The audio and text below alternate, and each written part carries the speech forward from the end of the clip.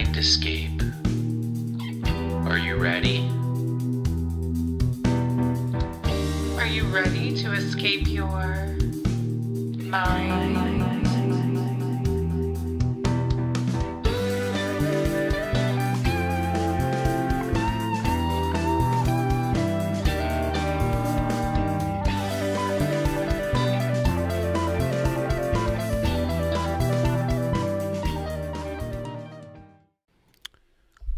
Folks, welcome back to Mike and Maurice's Mind Escape. We have episode number 308 tonight.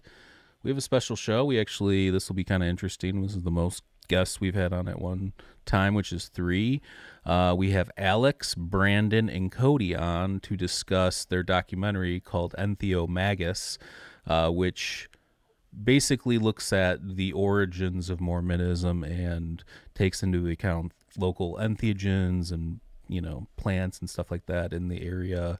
Um, I I actually watched it. They gave me an early look. I loved it. I think it'll be very interesting to people that like that kind of stuff, and um, which are all of you nerds out there listening to the show right now. So, uh, but yeah, looking forward to it. And um, before we get started, if you want to support Mind Escape, the best way to do that is to click the link tree link down below. Um, and yeah, there's plenty of stuff on there. Patreon, we've got watch our documentary, check out our documentary, As Within, So Without, from UFOs to DMT, um, which kind of is a, I guess, adjacent in a way to your documentary in the sense that like it looks at metaphysics and the possible origins of the ideas of metaphysics and things like that. So go check that out and yeah, leave us a nice review if you like what we're doing. So, um, but uh, yeah, so without further, uh, you know, ado, Alex, uh, Brandon, and Cody. I don't know who wants to go first, but why don't you give us some information first on when your documentary will be airing or playing, and then we'll go from there. Sure, I'll step in and do that. So, um, I'm Brandon. I'm the director of Entheomagus and co-producer with Cody and Alex is one of the key researchers that appears in the documentary along with Cody, who's also on screen and interviewed in the documentary. So Entheomagus is, as it exists right now, it's a 40-minute documentary that uh, unveils the psychedelic origins of Mormonism. And so this is a um, topic that was the first paper was published on this in 2007 when psychedelics were a bad word in society in general. And uh, 10 years later, Cody and another researcher who appears in the documentary. His name's Bryce Blankenagel. They appeared, um, or they they they've made a follow up paper to that, and so largely this work is the basis for um, the documentary. And we have screenings in Salt Lake City at the end of the month, April 27th, 28th, and 29th. You can get free tickets on our website, seerstonedproductions.com, seerstonedproductions.com, and then we have another screening in Portland Portland, Oregon, May 11th, and that's a Saturday. So April 27th through 29th in Salt Lake, and there are uh, six different options, and then uh, May 11th in Portland. Do you are you gonna do you have a format in mind when that happens? Are you guys trying to get it on a platform like a Netflix or an Amazon, or what do you? What's your goal there? Well, the goal is we've been tossing ideas about how do we make a mass distribution of this idea? How do we how do we get this out there to the public? Because it's such a wild idea. And uh, cody and i have been tossing ideas around and we looked at the idea of doing a scripted series. We tried pitching it a couple times and then um, thought that if we create a documentary then we can use this as a proof of concept to pitch our scripted series or potentially make a documentary series from there. So this is a something that we did on our is a passion project for now with the intention of turning it into something bigger that would be on a streaming service so that's what we're looking for is connections to a streaming service or an agent that could help us get in the door no, I was just curious because we had to try and figure that on the go when we did our documentary, and we ended up, you know, there was some options to try and monetize it, but just I'm just like, let's just put this on YouTube. It's our first documentary. Um, you know, we did do a Patreon thing, like a director's cut, where we didn't have any commercials and stuff like that, and we made a little bit of money off that. But yeah, I mean, the goal was just to get this thing out there and let people see it. So, yeah, yeah, we're we're in that same state. We're in the early stages right now, and we'll you know, we're, we're hoping we can get something bigger. You know. No, I, I Um, really liked it. I, I thought you guys did a great job. The it's very well put together in the sense that like it's coherent. Like when you watch through it, you learn. It's not like weird pieced together kind of like it's all kind of uh you know you go through the origins and then the the thesis or the um the hypothesis and then it kind of works off there. So yeah, no, I, I thought you guys did an excellent job. That's cool. Yeah, thank you. Um, not many non-Mormons have seen it, or people have never been Mormon, I should say, and so it's nice to test it with with other crowds. It, it's a tough thing to do because uh, even if you're familiar with Mormonism, there's still so much education that you have to do on this topic because Mormons, you know, it's very taboo. They, they don't participate in intoxicating substances at all, not even coffee. And so to be able to say you have psychedelic origins to your church, there's a whole lot of education that needs to happen. And then when you're talking to a crowd that doesn't have an ex- any experience in Mormonism, you've got to also educate them on Mormonism. And a lot of people don't have any understanding of psychedelics or Mormonism. So we've got to hit all of those people and try to educate them all on this subject in 40 minutes. It's it's a big undertaking. So uh, I'm I'm glad that you uh, recognize the the Yeah, uh, outline did- structure you- that we had there. You did a great job because I didn't really, I like I said, I don't know. I know I knew about like the basic origin story and the seer stone and a little bit of like the mysticism and stuff like that, but um, I didn't really know too much about like the actual origin stories of it and how it came to be. And I thought you did a good job with that. Um, and I again, I didn't know that much. I think the only other stuff I've really seen, I've known a couple people through working uh, that were Mormon over the years, and then also my wife putting on like Real Housewives of Salt Lake City, which those those ladies are, are drinking, and I don't think Mormons are supposed to drink, or you know, they're they're out there getting hammered. So, um, so yeah, so so that was my exposure to that, and obviously we talk a lot about ancient psychedelic use and esoteric stuff and things like that on the show. So.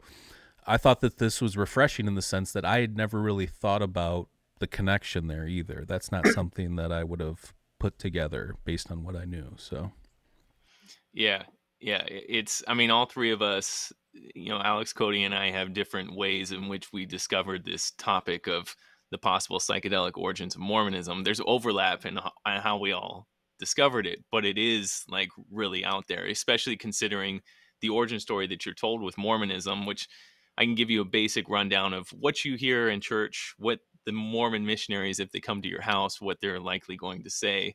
And I think from there, Alex and Cody can tell you this alternate history that we've uncovered um, that that shows the relationship that the early Mormons had psychedelics.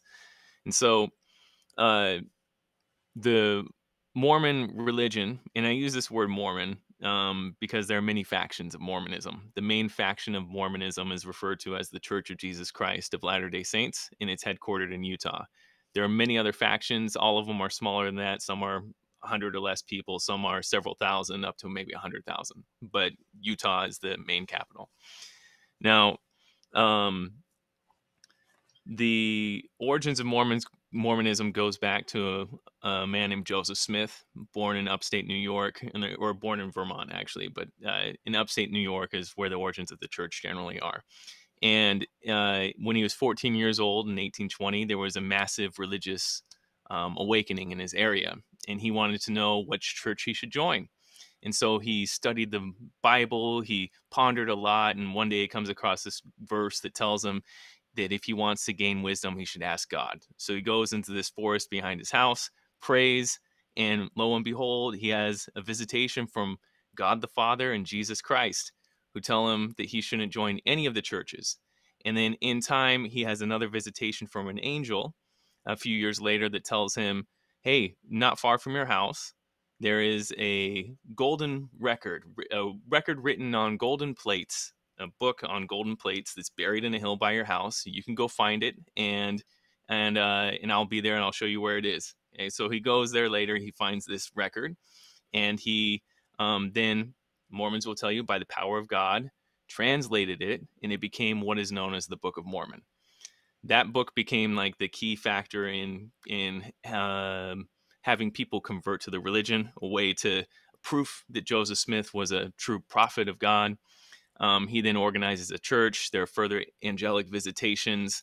Um, Mormons uh, um, then start to get persecuted as more as Mormons like to say, and they move from place to place, and they go from New York to Ohio to Missouri to Illinois until Joseph is eventually killed, and they the main faction goes out into the west and settles in what is now Utah.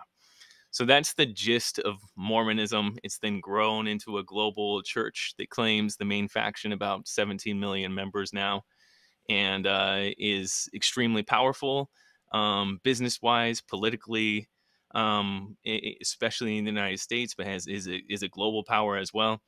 Um, but that is that's the gist of the Mormon story, um, the origin story that you hear. Uh, outside the U.S., where is it the most popular? Like outside of the U.S., Europe. Outside of the U.S., yeah. Would you say, Alex? Sorry, Europe.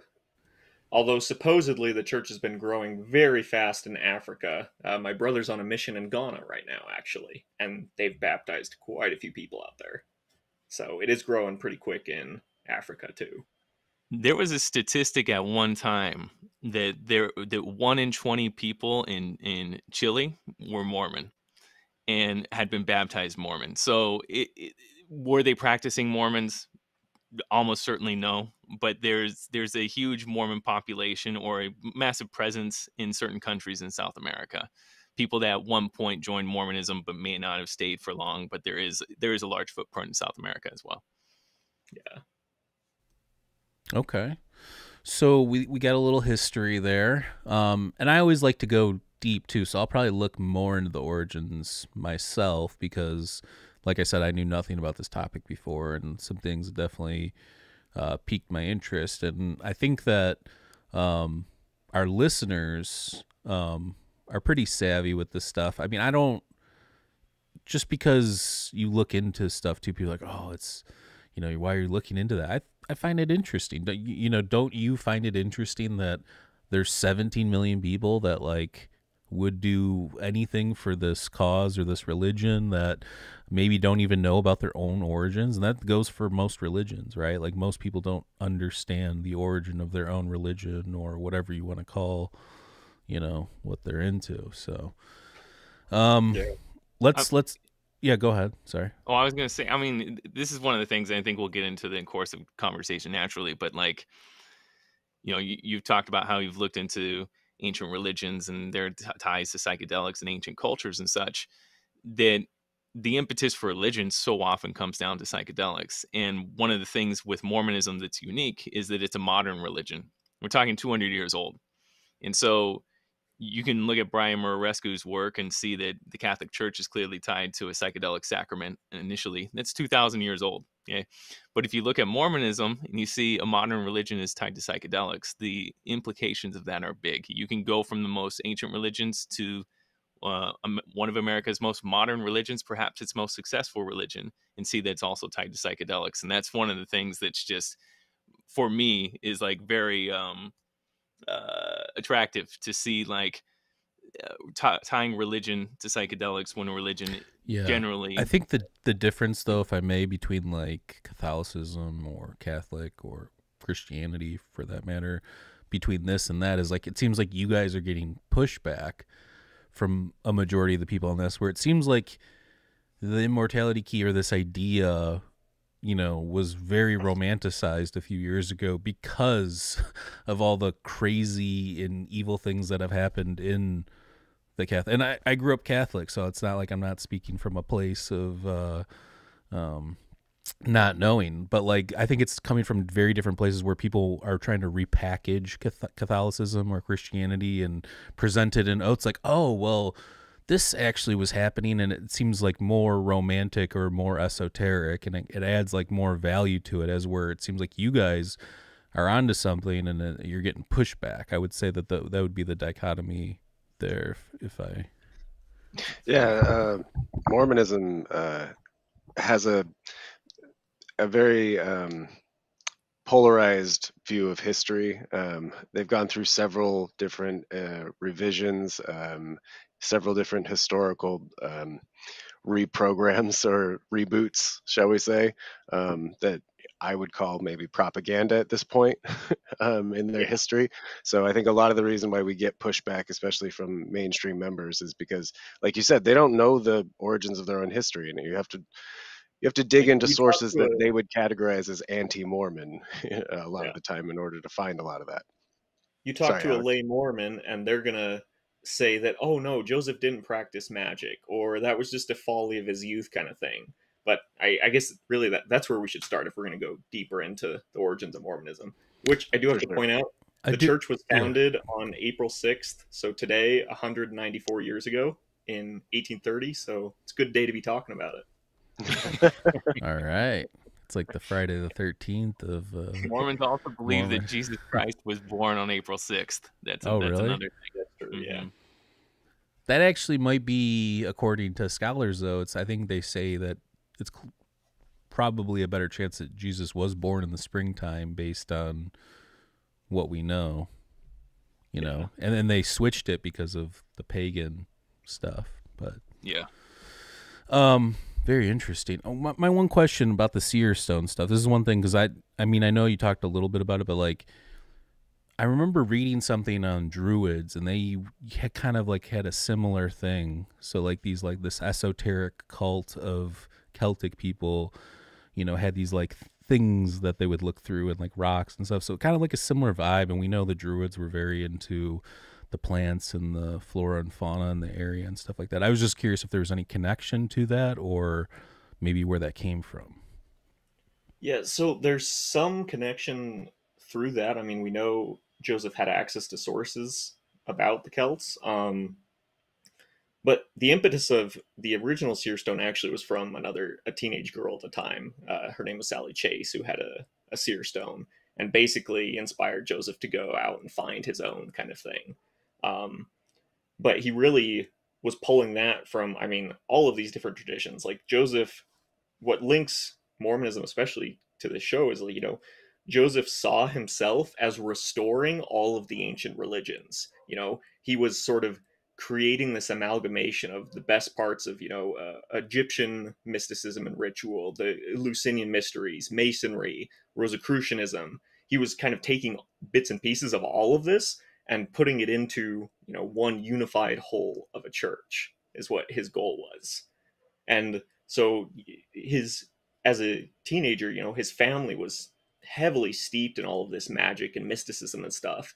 And his brother Hyrum um, went off to school at, at Dartmouth um, when he was a kid, where he was learning all about the Greek religions and from some of the best Greek scholars of the time in the United States, and was bringing this back and teaching Joseph it. And then as a kid, Joseph went down to Salem, which was a huge hub of uh, resources and knowledge at the time. In fact, uh, one of his cousins, through his uncle, uh, his uncle's wife's family, was the first uh, helped was the first female translator of Buddhist scripture in the United States, and she was huge into Swedenborgianism, which has a lot of parallels with uh, Mormon theology and like uh, a lot of the Doctrine and Covenants. One of the scriptures pulls from Swedenborg's ideas. And very interesting.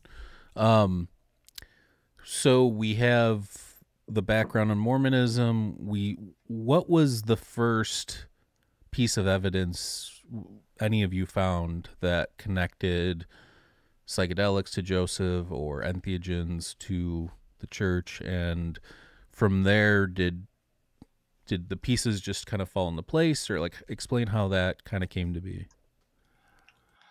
Where There was uh, there's an era of the church uh, that's kind of known as like the visionary period of Mormonism, uh, and that's Joseph's era, where you know peop regularly during church services, Joseph would come to people and say like, "You're going to see Christ," or, or um, there's a famous uh, temple dedication uh, uh, that they performed in Kirtland, where over 500 people all had a, a visionary experiences that lasted throughout the day and sometimes longer than that um, and with Joseph's death, that period of Mormonism kind of died out, and it got very uh, quiet and kind of Quakeristic. It's very like uh, still small voice, like God speaks to you um, quietly, not in loud visionary experiences generally, um, and especially in groups.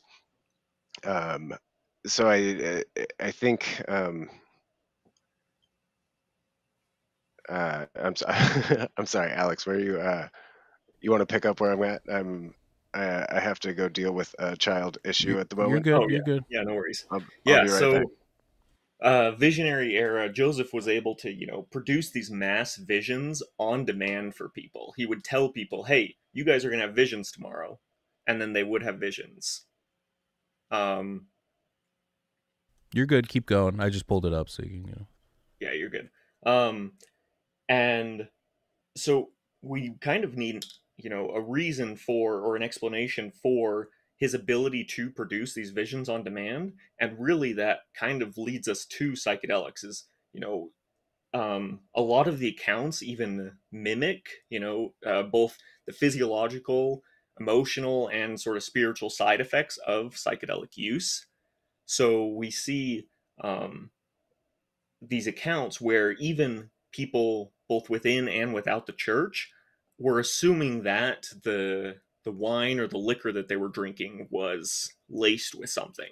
There was actually an account from one uh, sacrament meeting where an outsider, he was a doctor, was viewing the sacrament. His name was J.J. Moss, and he tried to steal a bottle of the sacramental wine to see if he could figure out what it was laced with, but he was unsuccessful, unfortunately, because that would have been great to hear his analysis of it. Um, and so, from you know taking a look at these visions, we kind of started looking more and more at um, the herbs that the Smith family was familiar with and his compatriots. He always had uh, an experienced herbalist in the first presidency or right by his side. So he always had someone that if he himself didn't know how to use the herb, he had someone who did know how to use it.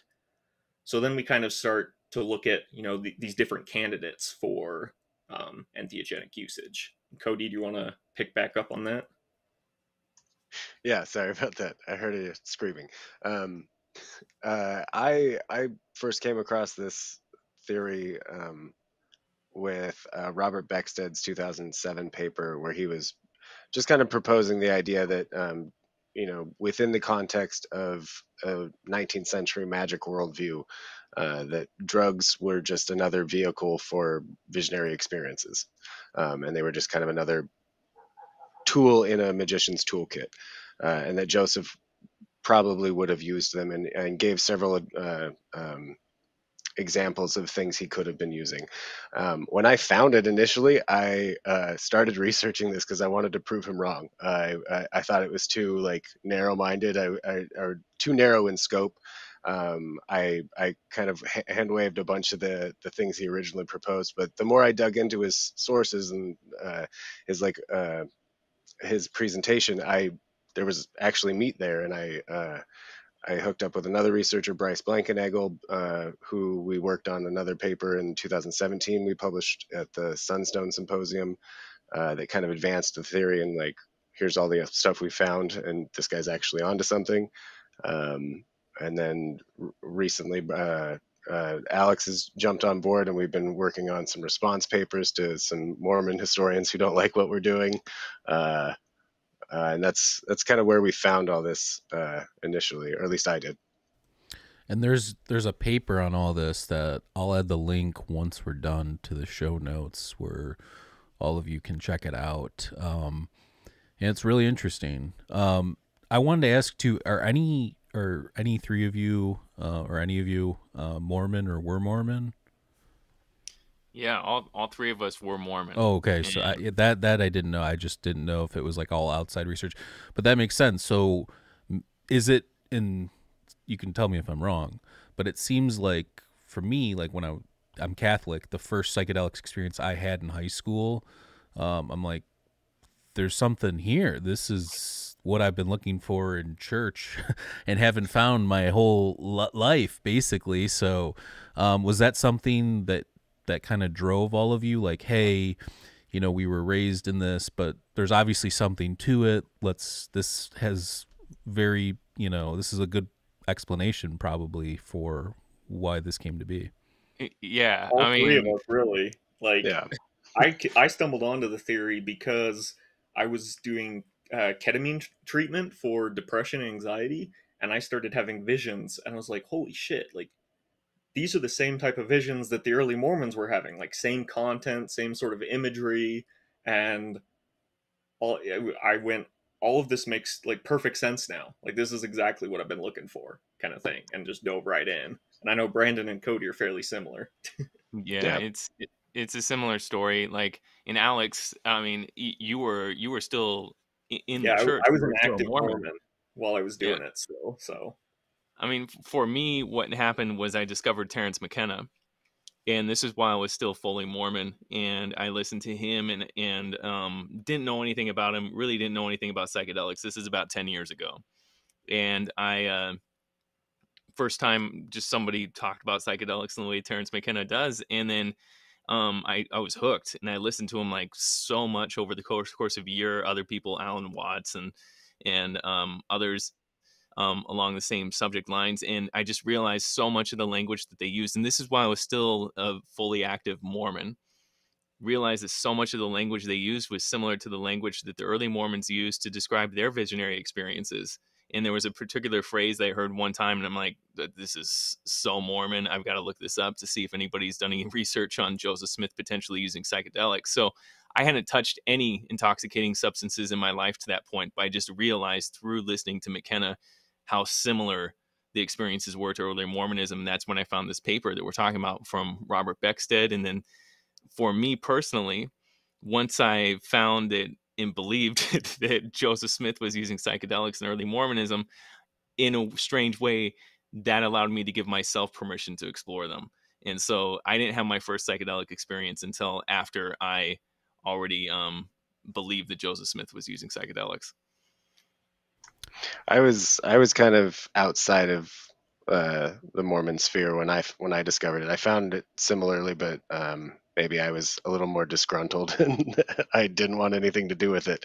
Um, but I remember I had to go through seminary, um, and I remember getting in trouble for asking too many questions about the visionary period of Mormonism uh, and why it didn't happen anymore. Uh, but then I was like 18, 19, took LSD for the first time and had a full blown religious experience. was like, this is what they were talking about. And like Alex, you're like, I, I, the imagery is stark. Like this is what they were describing. Um, and I, it was a few years before I stumbled onto Beckstead's paper and started studying it seriously. But that initial experience, that it was, it was palpable how, uh, how similar the the language was. Yeah, very interesting. Um, now, what was available to them in in the re- like at the very beginning, or when it was supposed that Joseph was doing um, or using psychoactive compounds? What was available to him in that area, and what what's the thought on? Was it a variety of things? Was it one compound in particular? Like what was going on? So we think it, it was a variety of things. Um, the earliest things that he likely would have had access to or familiarity with were Amanita muscaria and Datura stramonium. Um, there's actually reports that strongly suggest that his maternal grandfather, his mom, and his dad were all using all three of those substances, or both of those substances during their life, um, and all just prior to Joseph's own first vision and his own first vision has all of sort of the anticholinergic symptomology like it lines up perfectly. So it's um, early on those were probably the two main candidates. Um, however there also is psilocybin species that grows in the area um, henbane belladonna uh, later on in nauvoo we think ergot was a possibility. Um, Mandrake. Mandrake Essentially, all of the hexing herbs. Uh, Yeah. yeah, the without tropane thing keeping- really gets me. I really, I mean, I, I understand. Obviously, it's a psychoactive compound, but like not pleasant at all. so Well, like, not all the visions were pleasant. no, no, I, I know, Mormon. I know, but I'm just saying, I just don't. I mean, I guess back then they didn't really know have the the knowledge of the compounds like as we do from like a breakdown standpoint, but um. But yeah, it's just it. I mean, even going back now, I, you always think like, oh, mushrooms, and but like no, the the Romans were spiking their wine with tons of tropanes, and it was all tropanes all the way down, pretty much. So Yeah. So I think like Amanita muscaria is a, a particularly potent one that they would have used, especially early on. Um, like his so his mom Lucy Mack when they were living in Tunbridge, Vermont, she records this dream that she had that is almost identical to a ton of Amanita muscaria reports that I've seen. Um, and a year and a half ago, I actually went back. I was doing research and went back and found the foundation of the house that they were living on. So we were on their property, and their their old uh, rock wall still standing. A few years ago, they did an archaeological dig at the Smith family homestead there, where they they dug and found the foundation of the home. They did soil analysis where they found the exact species of hops that they were growing because the Smiths were beer brewers, so they knew how to work with herbs. And like Lucy Mack Smith, she was known for having incredibly heady beer. Like she was a master at it. But while we, we were there in September of 2022, and we walk o- across the street into the forest that was on their property, and there's just Amanita muscaria everywhere, just hundreds of them. So I one of these days I want to go back and do a, a soil analysis to see if we can find spores to prove that Amanita was on their property at the time that they were there, because we already figured out the species of hops that they were growing at the time. Um, so that's one candidate that they for sure would have had, almost for sure would Well, have had access. The to. weird thing you say that is the one experience I did have with Amanita was only like a weird dream scenario. I mean, obviously they're more of like a hypnotic than they are. I mean, um, you know, be careful anybody listening too. You got to decarboxylate to get the ibotenic acid out and everything. So, um, but uh, yeah, so the one experience I did have was very dream heavy, and I and, and in that regard, I felt like how could anybody have anything visionary from this? But I guess if you think about it from the dream standpoint, because it's not like psilocybin where you know you're having this transcendent experience, you know, in, in waking conscious consciousness kind of a thing. Yeah, there's a one of the, uh, and I have, I have to qualify this. Okay, I'm not the researcher. I'm the director of the film. So we got two two researchers in the room. If I'm stepping out of bounds in, in any way, please jump in. Okay, um, but this is one of the main books that Robert Beckstead uh, references in his paper, and it's Magic Mushrooms and Religion and Alchemy. And so, uh, Amanita, from my experience talking to psychedelic people, is one of the lesser used um, mushrooms or psychedelics of today. Um, I have had some minor experiences with them. I've never dosed it properly to have a major experience or anything. And I had drastically different things that happened in the three times that I tried it, but nothing ever breakthrough, visionary, or anything like that. But for whatever reason, I mean, especially this author, his name's Clark Heinrich. Um, the book is Magic Mushrooms and Religion and Alchemy. He's very high on this idea and talks about his personal experiences with Amanita muscaria and and also all the research that he did with it. But one of the interesting things that he does in the end is that he details one of his personal experiences, which is he and a friend went um, to a cabin and just basically ate mushrooms. Like that was their primary source of food for X number of hours. I think it was more than a day, even. And then, uh, if I remember correctly, they also drank their own pee because that was one of the keys to actually instigate the experience. But when they did that, they started reading the Bible. And then he starts talking about, and he's not a Christian. I don't think he is Clark Heinrich. I think he's just reading a spiritual book or whatever. But they read the Bible, and then they have a visionary experience that that Robert Beckstead quotes in this first paper because it is so similar to what happened to Joseph Smith in the in what Mormons refer to as the first vision, and so um, has an experience with the Father, you know, who um, who then calls him by name and like recognizes him and gives him some sort of honor or whatever it is, says "I see you" type type experience. So this is you know one person's experience who is a researcher into Amanita. Um, I've never had that experience myself. I've never come across somebody personally, but he's high on it. Well, the uh, there is obviously the Siberian shamans, and uh, some people conflate that with like Santa Claus. I don't think that that's true. Um, I think that there's other origins for that, but I do think that there is tribe in Siberia, and it, there's videos of like them drinking the reindeer's piss after the reindeer eats the amanita. Um, so that that's real. Whether that's what activates it or not, or maybe it needs to pass through a kidney or a liver or something. I have no idea, but um, you, to your point, I mean, I, my experience, like I said, was very dream heavy. It was like a hypnotic feeling. It wasn't. I heard somebody say this, and I've never done Blue Lotus, but they said it was very akin to Blue Lotus, where it's kind of like just chill, you know, hypnotic not really too much. It's not like again, not like psilocybin or one of the classic uh, 5-HT2A receptor psychedelics. It's it seems less reliable from what I've read. Terence McKenna wasn't keen on it either. Um, and uh, but uh, I mean, from my personal experience, and I I think the most I tried was one and a half caps. And um, what did happen to me, and this was before I was very, very experienced in psychedelics at all. I hadn't even tried, um, I haven't had my true psilocybin trip yet.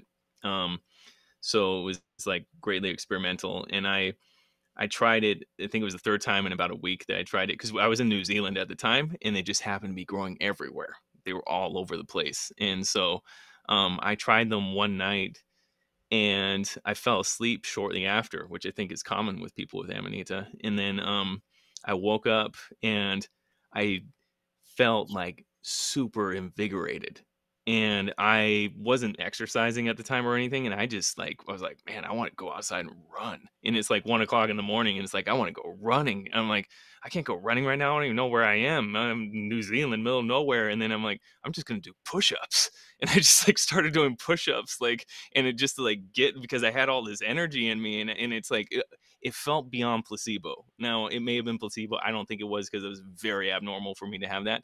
And then I sat down and I wrote for like three hours straight, just like nonstop. And so that was my most um, potent Amanita experience, but I did not see Jesus Christ. no, that's interesting. And, and, you know, everybody is different. I mean, you could give 10 people the same dose of psilocybin they'd all have you know drastically different experiences now there is crossover sometimes and there's like weird synchronicity things that happen if you dose with people and things like that maybe there's some sort of connection. But we're all different. We all have different biochemistry and breakdowns in our gi tracts and different things. So um, i agree with you about the amanita though. I feel like it it's it's not it's not as consistent as a lot of the other psychoactive compounds, especially mushrooms. So, yeah, well, I think uh, we we open the possibility for this being any number of things, and I think it was probably even seasonal. Um, like it was what was available, when was it available, how long was it available, how much did we harvest, um, and a lot of these guys were skilled enough at at herbcraft that you could use a number of things to get the same uh, result.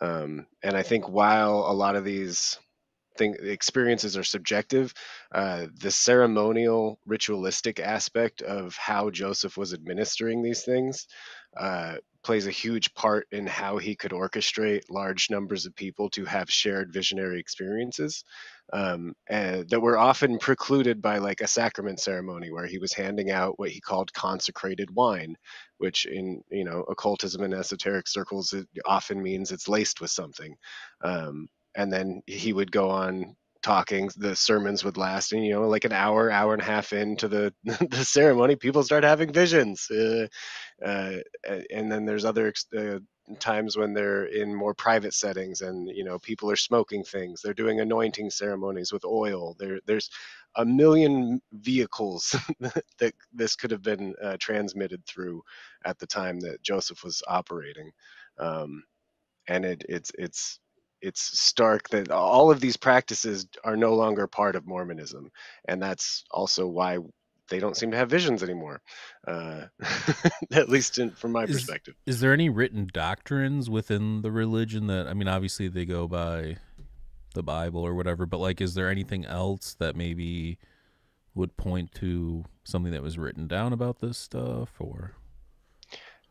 I I would say it, often the um, Joseph had kind of a public personality and a private personality. Um, he had things he would advocate publicly, and he would uh, often do counter that uh, pri- privately.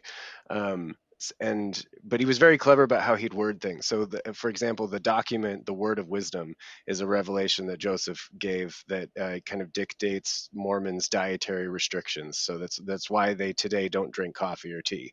Um, but when Joseph originally gave it, there's a lot of legal wiggle room for what you can incorporate. He he says like all herbs uh, and plants under God are sanctioned by our use uh, as long as you you uh, they're consecrated with an eye to God. So basically, if you, you like anything's fair game, if There's you're another if revelation that where Joseph is told by God to only use wine of his own make for the sacraments. So he was explicitly in charge, and whoever he put in charge of making the sacramental wine, which leaves it wide open, saying, "Hey, you, you can't bring in other wine. Like you have to use this stuff that we are making for you." What makes this like especially challenging for a mormon today is that there's so so much of their belief is um, centered around not taking these substances and when i say these substances i'm talking specifically alcohol tobacco drugs of any form other than something prescribed to you by a doctor which a lot of mormons are kind of over medicated but um but any but other forms of intoxications coffee and tea are specifically outlawed. And so um, also they don't use wine in their sacrament or communion anymore they use water in a piece of bread. So there is no no room for any intoxication in mormonism so if you're coming in and telling them in your early days your visionary experiences were coming from what we now label as psychedelics it's really challenging for people So when did that change? Like, was there one person leading the charge on this kind of like a prohibition on compounds, or how did that evolve?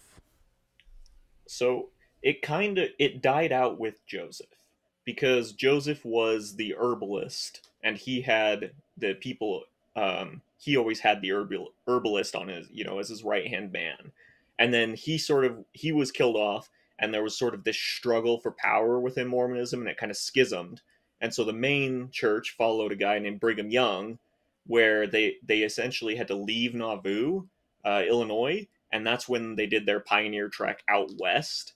So, in part, it died off because Brigham A wasn't as mystically minded as Joseph. He didn't give a damn about the visions like Joseph did. Um, he was more interested in the economic side. Um, and then they move west to a new locale, new plants, and so they were kind of essentially cut off of their original sources of the material. So that that's really one of the biggest reasons it changed is it went through a theological shift. So it was no longer okay to have these visionary experiences. Like they they explicitly link in an 1850 conference of the church. They explicitly link the older grand visions with apostates. And they say, oh, the real members, the strong members, they just have the you know the still small voice that Cody was talking about earlier. You know, they don't have these grand visions, sort of thing. So it gets completely taken away, both So theologically. what- what's the small voice? Is that you mean like like a the inner dialogue or something like like everybody has No. got like a inner voice, you know, like you Yeah. consult with. Like that's not like a special Mormon thing. They know that, right? Mor- Mormons will tell you it is though. That's the thing that testifies testifies of truth. Gotta so throw like up that Leonardo DiCaprio meme of him behind the camera laughing, you know, from uh, uh, uh, but yeah, that's uh yeah, I don't know, that's that's that's interesting, but like at the same time it's just like so much of this stuff especially with religions and not just Mormonism, like a lot of religions, it's just the same stuff like most of these people don't know the origins of what they're believing in. Like at very least, let's say you consider yourself a good Christian or a good uh, Muslim or whatever, Mormon, whatever. Wouldn't you, aren't shouldn't you know like the ins and outs of where this came from, like from historically too? Like what archaeological evidence is there? Any archaeological evidence? Is there any um, linguistic evidence, text, like things like that? Like none of these people know any of that stuff, and and it's Well, the you know modern church actively suppresses its history and tells pe- it people not to study it. You know, you can only study it from the official sources. Um, which is the church itself and you know its token apologists, and you know they they kind of shy away and play down Joseph's treasure digging, you know, his magical practices, the fact that you know the temple ceremony, the main temple ceremony for Mormons is pulled from masonry. Um, like in the 90s especially in, in the early 2000s there was one of the head church leaders who basically went after all of the divergent mormon historians um, and theologians and excommunicated all of them. You know the guy who did the groundbreaking work on mormonism and magic. They excommunicated him. They excommunicated uh, a bunch of people talking about you know heavenly mother the idea that god was married and you know we should be worshiping both heavenly father and heavenly mother. Excommunicated them. And so it's so funny you say that. I was just cutting up a clip of i did an episode with cannabis historian chris bennett um, and we were talking about uh, El or um, Tel Arad and the temple in um, in early Judaism where they found cannabis resin, and they had two standing stones, one for God the Father and one for I think Asherah, the mother goddess, and I think in the museum they took the mother goddess out, so it's just the one. So it's like, what are we doing here? We're trying to like revise history. Like, no, we come from. I mean, aside from Akhenaten, everything's pretty much polytheistic. You know, so I don't know. Well, in, in, in Mormonism specifically, you, you have this issue that there's there's not just you know an evolution in in how the history is presented but like even in joseph's days like when he started the church his attitude about psychedelics and and visionary experiences was like everybody should share this. We should give this to whoever wants it.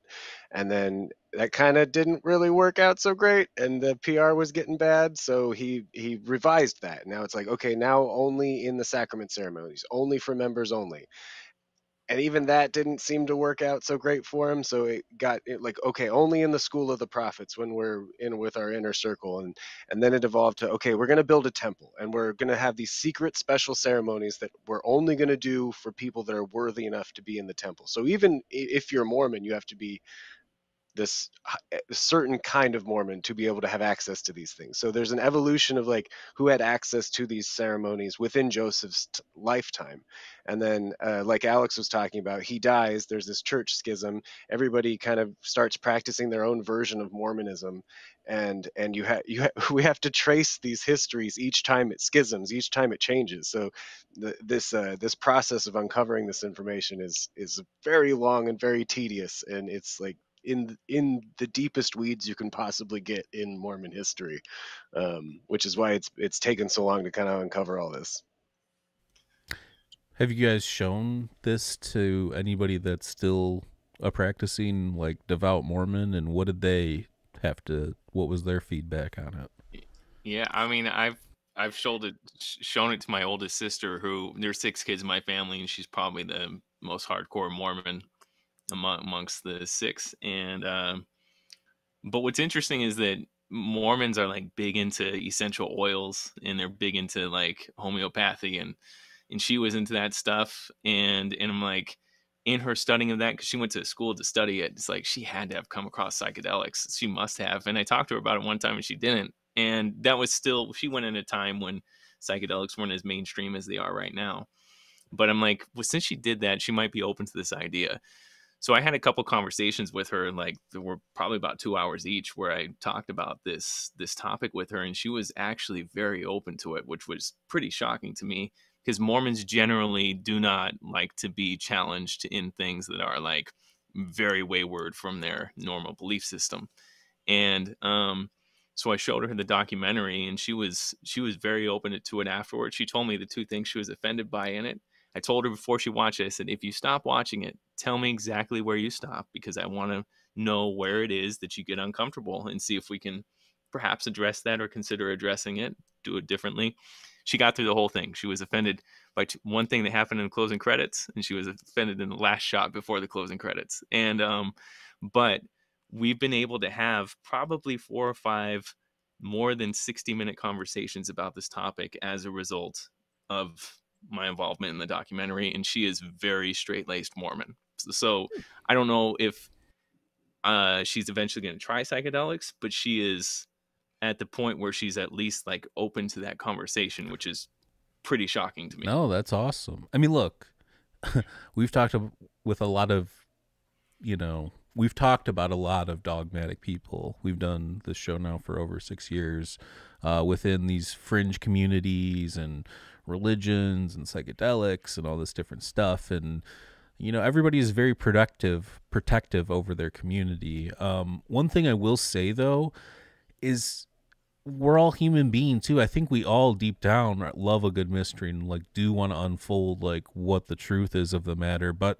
there is this weird thing which I will say, which I had like a spiritual experience, like an awakening or whatever, reawakening like seven years ago. Um, and I've talked about it on the podcast and stuff. And that's kind of what led us to do the podcast. And I was very into like a lot of woo things. Um, and through that process, I've whittled it down. I'm like, oh, so like most of that was bullshit. There is some interesting aspects to these things. Then maybe I can see what this true fringe is all about. But um, until you get on that path, you don't know. And I think that with what we see in society right now, a lot of people abandoning religion, and you see people need that hole filled. And you can even go back to Plato's dialogues, where um, I think Socrates is talking about how um, you need a higher order or, or, or higher power to believe in, or else things start to decay. You become an immoral person. So um, I think that if you can offer these explanations, like you with your sister and this documentary, and just having these com- open minded conversations on these things, I think we can get to a place where it's like maybe you can keep some of these traditions or these rituals or whatever with the understanding of how it got there without all the dogma and the the you know the controlling and all that kind of stuff if that makes sense. Yeah. So it's actually kind of funny. There's a a mushroom tr- church that started here in utah by a couple ex-mormons steve and sarah urquhart. It's called the divine assembly and it's basically this giant group of ex-mormons who have all found psychedelics and get together and we talk about it and whatnot. And the one tenet of the church is you know everybody can access the divine on their own terms sort of thing using the sacrament of course psilocybin. Um, but it's really fun to sort of see all of these people kind of come together and be like all right yeah we're trying to make sense of these experiences we're trying to understand it and the majority of us all come from the same Mormon background where it's very strict, very dogmatic, and we're kind of trying to play around with okay, well, what does it look like to, you know, think about these experiences non-dogmatically, to look at our history non-dogmatically. And so it's this really kind of cool little counterculture that's developed in Utah based around psychedelics. Yeah, that's very interesting. And you, again, you see that now. I've seen people uh, combine Christianity and psychedelics, people tapping into the ancient soma or homa and the psychedelic rituals and stuff like that. Um, one thing I, I always question too is like the people that don't question it, like what are you what are you doing? Like you're not you think these people experience some sort of magic? Just these few people? Some magical shit happened that's never happened again in the history of the world and those are the people that experience it and only them are that blessed and it'll never happen again and you're just supposed to just believe it? Like from a logic and a reason standpoint that doesn't make any sense. Well you know i, I mean oh go ahead cody sorry I think I think there's this uh, knee-jerk reaction people get by the idea of us like trying to understand how these things worked or like trying to replicate them is almost like an act of blasphemy, um, rather than understanding, um, where it's just like a matter of perspective. It's like we're we're worshiping the same as you. I I just want to know how it works and I want to be able to replicate it. Uh, um, and some people just the very act that you're trying to understand it is in itself like offensive like you said it's it's like how dare you try try to figure yeah. that out this was just for them yeah well and, and what's interesting too is you know mormons seem very attached to this idea that it's all on god's terms like we have no say really in our relationship to god other than being obedient and following all these rules and you know if we are and we're lucky enough, you know, God might give us these breadcrumb experiences. Oh, he helped me find my keys. Oh, you know, something like that. Whereas, like the way Joseph understood it early on, and the way, you know, even we're trying to navigate this is like no it it's a relationship with god you know there's there's this two part two way street between you and the divine and you have some say in how these experiences go and whether or not you have them you know and psychedelics are sort of a way that we work can work through that and have this two way street and that for a lot of mormons is really hard to swallow because you know they're so um i don't want to say brainwashed but kind of brainwashed to go that oh only you know the people with authority above you can receive revelation I mean, you could you could even you don't even need to bring. I mean, I understand that's what we're talking about, but you don't even need to invoke psychedelics up. You could just say meditation versus prayer because the way I look at it is meditation's kind of like a two way, you know, thing happening as opposed to prayer, which is like, oh, please help me, you know, I need your help, and you know, blah blah blah, and it just seems like needy and what are you doing kind of a thing. Uh, I mean, I get it, and, and some people have crazy mystical experiences after they do that when they actually really do need that. So, I mean, I'm not like one to poo-poo anything, um, but I will say that I don't like dogmatism on any side, whether it's religious, non-religious. I mean, even science. You know, science scientism is a real thing too. So it's like I'm all about balance. Let's balance out what we know. Like, is it possible to know some of these things?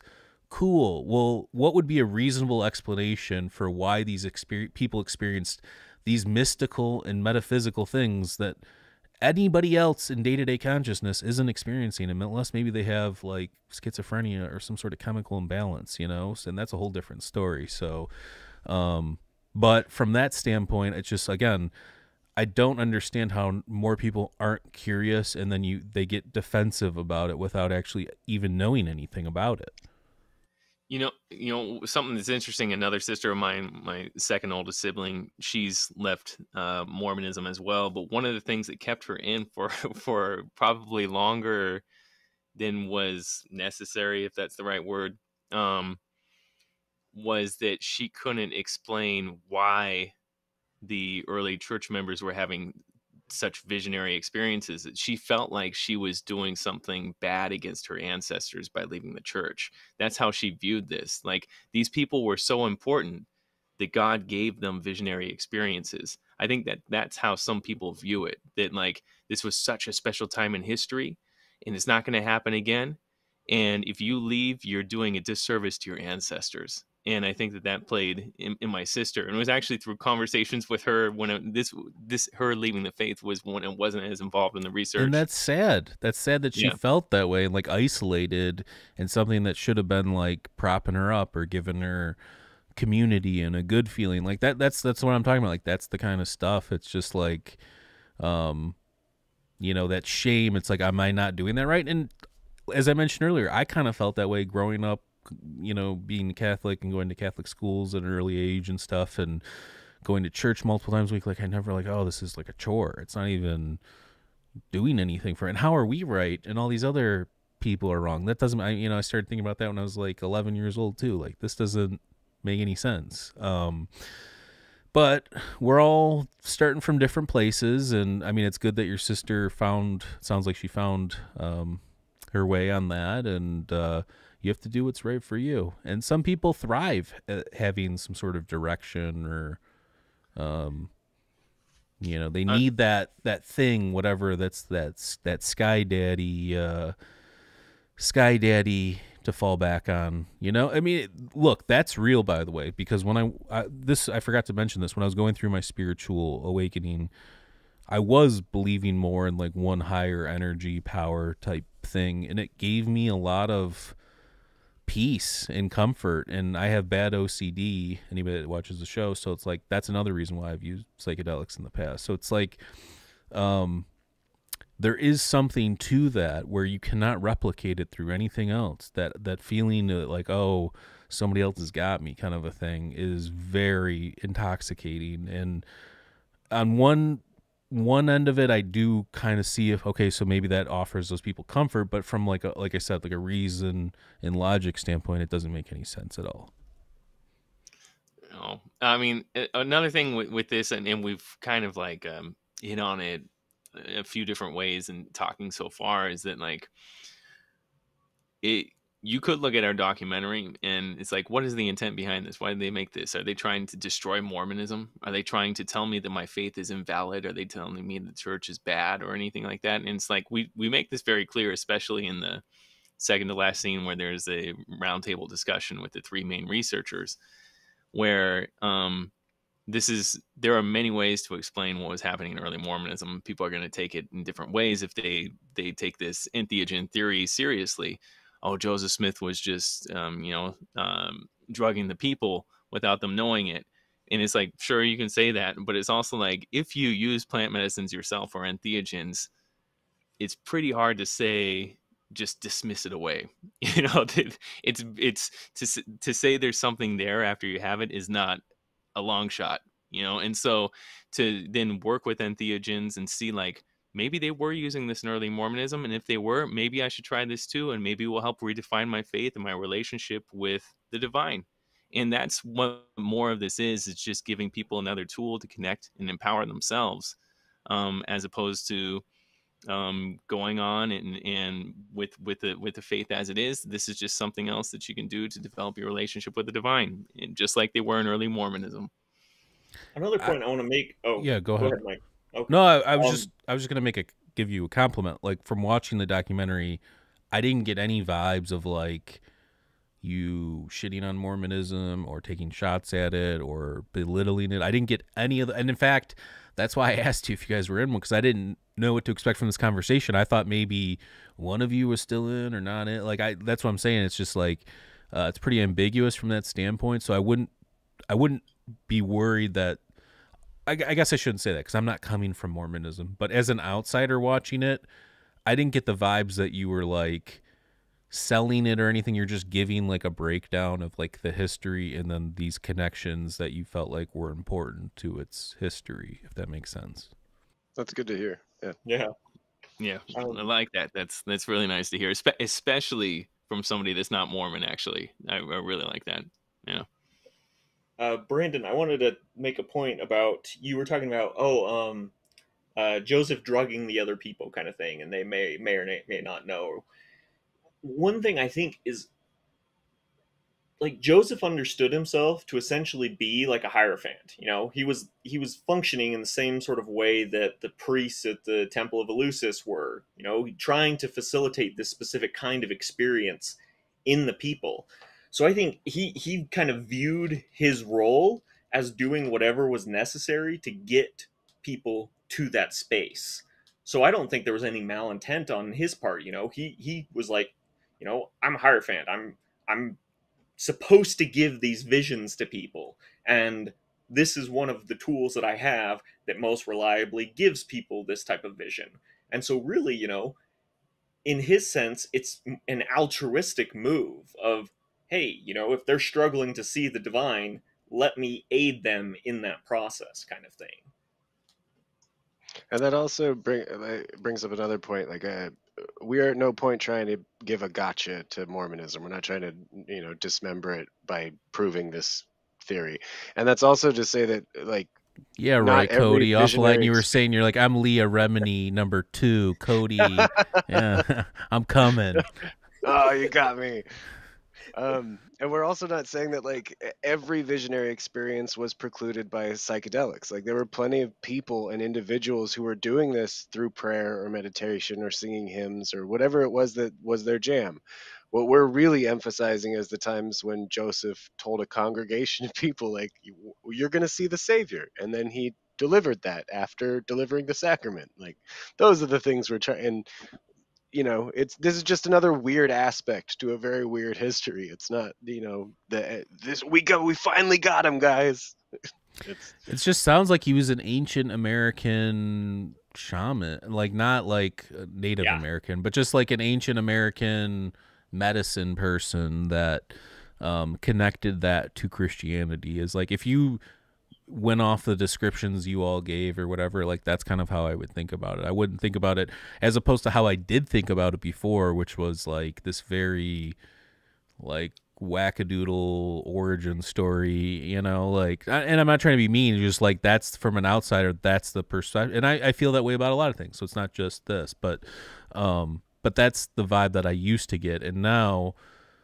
looking at this, I'm like, oh, that makes sense. And and we've talked about that on this podcast, like I said, for the last six years, whether it be the Eleusinian mysteries or the go back to any of the ancient mystery schools, Egyptian mystery schools, anything. There was definitely mind altering things happening, whether it was deep meditation, psychedelics, entheogens, um, near death experiences, you know, in, inducing these different states. Like that's been happening forever. So to correlate that to what you're talking about is not that far of a stretch. I think that the disconnect is it's so much more recent than all those other ones that we don't really think about it like that. But I think that, you know, the work that you guys have done is great. I know PD Newman kind of looks into that time frame too, um, as well as like alchemy and stuff like that. And there's a lot of stuff happening there. So there's a lot of crossover too. Uh, Pete and, uh, and I particularly, I've I've talked to them a number of times about about this kind of thing. Um, uh, and the masonry alchemy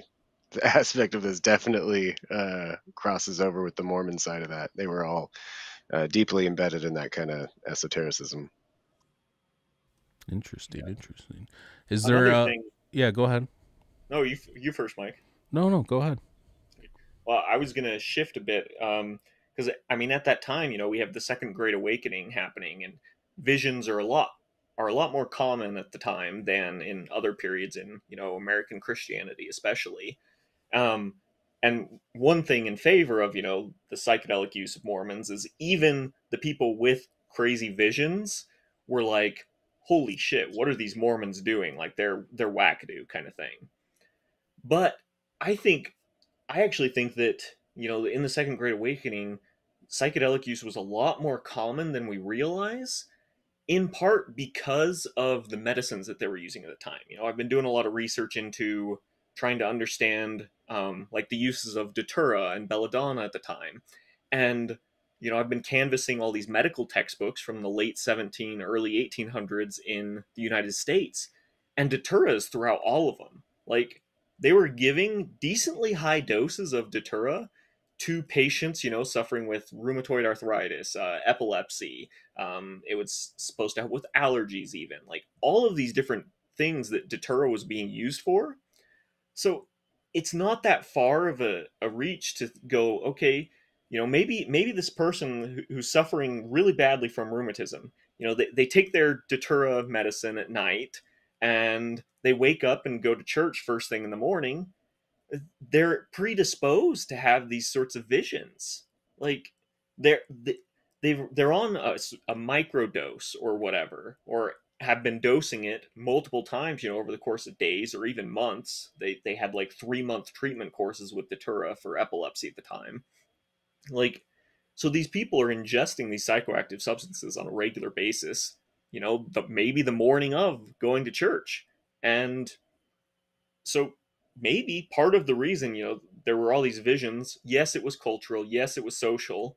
But maybe it was also because of the generalized medicine at the time, which would make, you know, Joseph's use of it not that strange because he had doctors all around him all the time who were using these and who were studying cutting edge medicine. Yeah, that's interesting. I mean, and it's definitely found everywhere, at least in the you know, United States East, Midwest, you know, all throughout there for sure. Um, yeah, again, the tropane thing's kind of, I mean, it's so prevalent, but it's just like that's that can't be fun, right? I mean, like, are, are people going like looking for that darkness? You know, that's the kind of thing that I wonder. Um, going for their shadow side. Yeah, working on their shadow or entering the shadow or whatever. But um, I remember too, like, who was it that we had on? Dr. Andrew Gallimore, and that was because we were yeah. talking about um, the difference between like phenethylamines, tryptamines, and like tropanes, and it seems like whether like aside from like the value of is one better than or is it does one reveal more or whatever um, it just seems like pro or tro propane tropanes is more akin to like an actual vision of something that's not there as opposed to a tryptamine which you're looking at the wall and it's kind of moving a little or the ground patterns flowing or um, whatever the case may be something that's more psilocybin based or LSD or DMT. Um, but I just remember that conversation thinking that maybe that is the source of all the gods and goddesses is the tropane stuff because people are just again and maybe there's something to it that's metaphysical that's manifesting in that way or whatever but just using those compounds to induce those visions is something even more wild than what we know as modern psychedelics and those experiences at least from my hundreds of experiences that i've had. Yeah well and I mean, what's of particular note frequently in a lot of these Mormon visions is they're talking to people that aren't there, that, you know, only one or two or three sees. I mean, in these uh, grand visions, you know, the temple dedication and stuff, a lot more people are seeing all these different people. But, you know, you read some of the visions that Joseph has or that Joseph and one other person has, and it reads as like everybody's just sitting there watching him and he and his fellow person are, you know, just talking to an angel, like, oh yeah, hey, uh, Peter, James, and John are right here, and we're we're talking to him. Hey, Elijah's right here, and we're having a conversation with him, kind of thing. So I mean, it lines up perfectly with, you know, seeing somebody that isn't there. It's just augmenting your reality a little bit. Yeah, very interesting. And then you got the outlier, Salvia, but they would have had to go to like Huautla Mexico to find that. It's like a very specific yeah. I don't think so. I don't think, I don't think, I don't think that was around back then. Yeah, it's a new world. Probably the Maya knew about it, but um all right, so what are we missing here? Is there anything we didn't touch on yet that you any one of you want to touch on that we didn't get to? Cody, I think we should bring up Fred M. I was just about to say, uh, one of the most exciting and weirdest parts of this whole thing that I I like to uh, bring up is um, so we talked about Joseph. This visionary period kind of died out, um, and the church schismed. One of the um, offshoots of this church was um, uh, the Community of Christ, what's now called the Community of Christ, or the uh, RLDS faction of the church, um, and they were kind of following a um, what is it a paternal bloodline uh, the next people in line to take over after joseph were his was his son um, and and so uh, joseph smith iii took over the reorganized church um, and his son fred m smith who is joseph's paternal grandson was one of the first psychologists in the United States. Um, he he um, studied at Columbia, um, uh, I think G. Stanley Hall was his mentor. Um, he wrote a, a, PhD dissertation on altered states of consciousness, specifically religious states of ecstasy, as he called it. Um, and he was a huge peyote advocate. Uh, what's kind of ironic about all this is this history was was lost, and Joseph's grandson unintentionally kind of picked it back up um, because he was trying to find a, a source for how to replicate revelation in the way that his grandfather had. And he stumbles across peyote in the early uh, 20th century. Um, and as a psychologist and a standing Mormon prophet, he has a very interesting perspective on altered states of consciousness and specifically religious states uh, or, or, religious uh, rituals that uh, uh, induce these states. Um, and so he, uh, being a peyote advocate, was like sharing it with his friends and uh, going to um, uh, tribes that were associated with Mormon missionaries um, and and taking peyote ceremonies. Um, he he sent some peyote to his daughter Alice, uh, who was going to school at the time, and she didn't seem to like it very much, but she she did have a friend, uh, Virgil Thomson, who is who was going to Harvard, who was hanging around, and uh, through one way or another, uh, Fred M, uh, her dad, and her and uh, Virgil Thomson struck up a relationship, and he started giving peyote buttons to Virgil Thomson under the um, uh, under the the agreement that Virgil Thomson would give him like research data. He would basically give him uh, here's my anecdotal report from my experiences. Um, but he liked it so much he went back to Harvard and started sharing peyote with his other artistic you know musician friends and um, they started the harvard aesthetics club um, that helped spread the use of peyote and you know help kick the beatnik movement and a number of other things um, but what we don't know or what's lost to kind of the um, the birth of the psychedelic renaissance as we know it is that this this psilocybin project in the 1950s and 60s that kicked off the psychedelic renaissance was precluded by another psychedelic club at Harvard in the 1920s that was being funded peyote by a Mormon prophet. And this isn't speculative. This is you know there's this is all documented. Uh, uh, Fred M wrote a whole book where he has a chapter about how great peyote is um, We have the So that's- journals and the memoirs of Virgil Thomson, the daughter, talking about passing it around at Harvard. So, you know, the psychedelic renaissance started at Harvard just 40 years prior to what we think it when we think it started with Timothy Leary and whatnot. and it was That's- sparked by a that's Mormon another one. prophet That's another one that grows in a very specific area, peyote, right on the border of Texas and Mexico.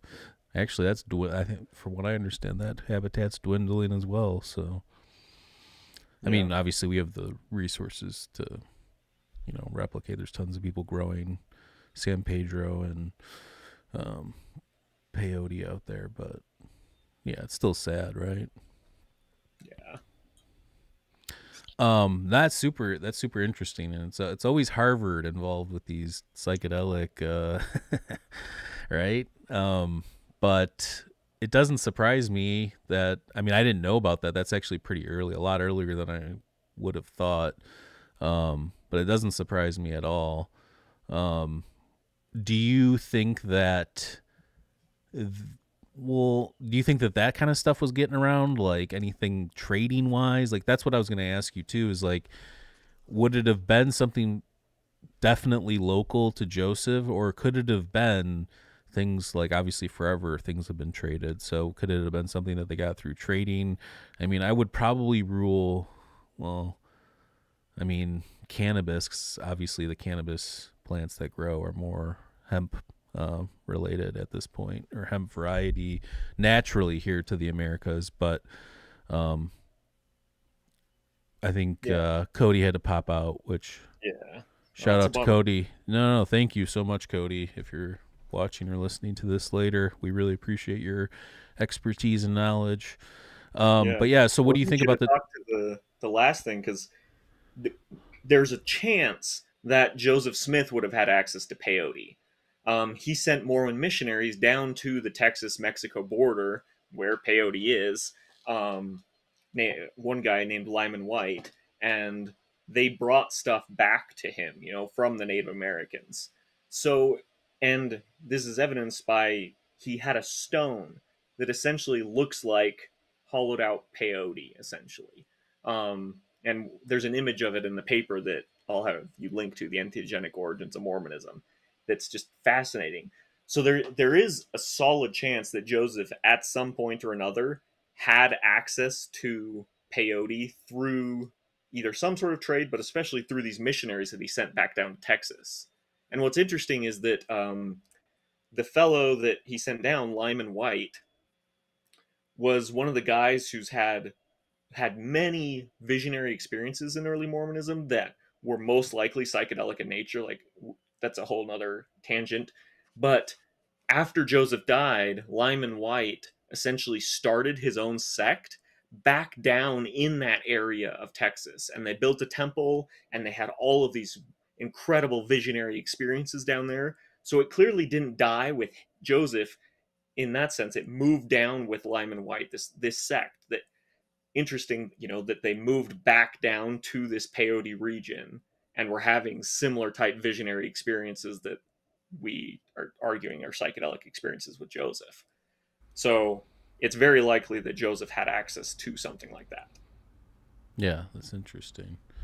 And again, it could just be a variety of stuff too, right? I mean, that's the that's the problem with all this stuff, and it doesn't get written down, or it's esoteric knowledge that wasn't properly passed down, or you know, missing links in that chain, or whatever the case may be. Um, but yeah, I mean, it's you, you get that with a lot of stuff, you know, whether you're looking into like Soma or the Kykeon from the Eleusinian Mysteries. Yeah, we can speculate all day. They still don't. I mean, how they still don't know how you would separate um, the neurotoxic aspects of you know if there was ergot in, as part of Kykeon, like how would you separate the psychoactive components from the neurotoxic, and that's the problem, right? So I don't know, lots of stuff to consider and think about. But I, uh, most of all, though, I think you guys did an amazing job on the uh, documentary. Is it, are you guys? Is that what I saw? Was that completely done, and you're just waiting to kind of put it out there, or are you still doing stuff to it? Yeah, we're um that's what it is for now. There, I mean, I haven't watched it for probably like four weeks, and there there are a couple of things in my mind that have come up since I'm like, I gotta check that scene out. I might want to change that shot right there. Um, but uh, that that's it for now. I mean, there might be a shot that's replaced here or there, timing of something. There's this. We technically have a song we shouldn't use in the closing credits that we gotta we gotta check before we show it in public. Um, but that is 99.5% the version that you're going to see if you get tickets and you come to Salt Lake April 27th through 29th or in Portland May 11th. So um, we're also talking about maybe doing an online showing of it for people who aren't local to Salt Lake and Portland. yeah, so we, we, we I recommend that too. I mean, even if you do it separately from that whole thing as like a separate event or whatever, and let me know too. I'll try and get the word out or you guys can come back on for you know a short thing or promote it or whatever let me know and i'll spread the word any way i can i appreciate that yeah we really appreciate that yeah it's been great chatting with you i want to say by the way you've dropped like five or six names that you've had conversations with in this in this episode i'm like oh, who do you have access to? Like, where, where are you pulling these people from? Dude, Brandon, I told you this is why I love this podcast. Like... MK Ultra, bro. No, I'm just kidding. uh, no, I mean, I just I look, I'm interested in all this stuff. It's I'm kind of like an autodidact. I'm not writing books. I mean, maybe I will at some point about my own kind of stuff, but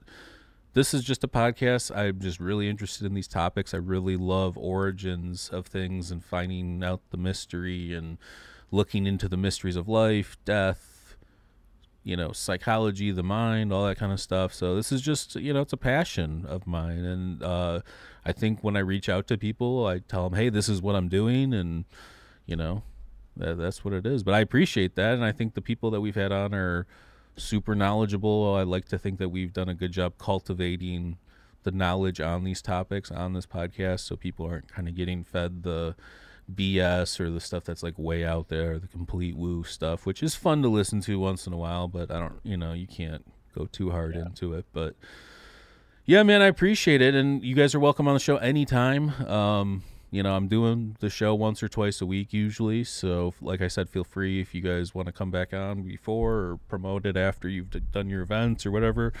Shoot me a message. We'll try and set it up. And uh, I really appreciate you sharing your knowledge and letting me take a look at it because I do think you did a great job. And as somebody who's made their own documentary now, um, I kind of know how hard it is to do number one and number two, like the editing process and everything. It's just to put something out there that's coherent that makes sense and you guys did a good job of like having like i said the the beginning the background story and then coming in with the, the hypothesis and working off of that so kudos to you yeah, appreciate that. Thank you so much, Mike. It's been a pleasure talking to you. I'd love to be on again, you know, with the group to promote it in some form or just have a follow up conversation. This is this has been really good. Yeah, thank you for having us on. Sweet man, yeah, thank you, and uh, yeah, Alex, again, you're you're welcome on anytime as well, and um, yeah, check out their documentary when it comes out, Entheomagus, and uh, I will put the link uh, once Alex sends me a message. I'll put the link for the paper down below in the show notes, and uh, a little bit of more information. So check that out. Um, and if you want to support Mind Escape, the best way to do it is uh, click our link tree link down below. If you're listening to this on an audio platform um, check out our, our YouTube channel because we do all of our episodes live. Uh, there's no ads or anything on that. However, once the episode's over, there will be ads, and there will be ads on Spotify. We do have video episodes on Spotify though too, so check that out. And uh, check out our documentary, As Within, So Without, from UFOs to DMT. Um, the link is down below as well. And I think that's it. We're going to wrap it up here. Again, thank you to Alex, Brandon, and uh, Cody, who had to drop out. Shout out to Cody. We really appreciate you coming in here as long as you did. And uh, yeah, shout out to everybody that was listening and, and sending uh, messages out there. We appreciate you as well. And uh, we're going to end it the way we always do, which is we love everybody. Stay safe out there, and uh, we'll catch you next time. Peace.